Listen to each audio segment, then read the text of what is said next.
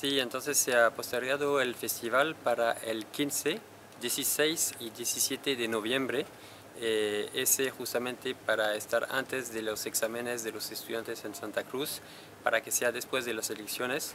Entonces eh, invito a todos los eh, actores y toda la gente a sumarse para que el festival tenga un éxito y que sea como un medio de volver a lanzar todo lo que es el turismo por la chiquitanía, por San José y yo creo mandar un mensaje un poco más positivo eh, esperando que de aquí a esa fecha ya termina todos esos incendios. Estamos trabajando para que eh, a pesar de que cambió la fecha, que eh, sean presentes todos los actores del simposio, van a venir chef de, de Bolivia, van a venir chef de Perú, entonces la calidad del festival se va a mantener y hasta vamos a buscar la forma como siempre de superarla. vamos a buscar la forma también de superar la cantidad de pozoca que van a venir a San José y al festival. Eh, este año destacar que el festival eh, va a tener como un tema el tema de la ruta gastronómica. Ya existe en San José la ruta gastronómica Saborearte Chiquitos, que ya está funcionando desde más de un año.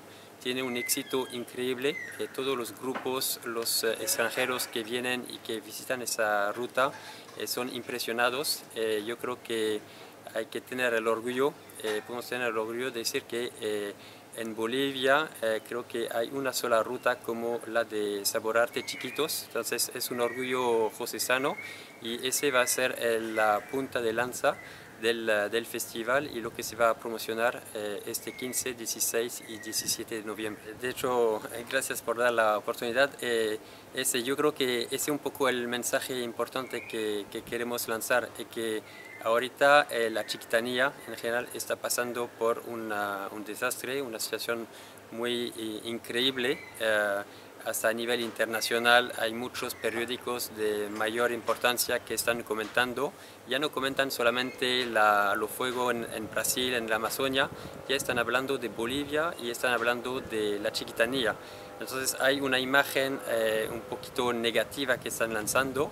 Yo creo que eh, aquí eh, debemos, eh, cuando pasa todo eso, debemos sumarnos para demostrar que a pesar de esos incendios, igual que lo he visto ayer en, eso, en el Chaco, donde se quemó, son troncos calcinados, son ramas calcinadas, pero de ahí empiezan a botar esas hojas verdes casi fluorescentes.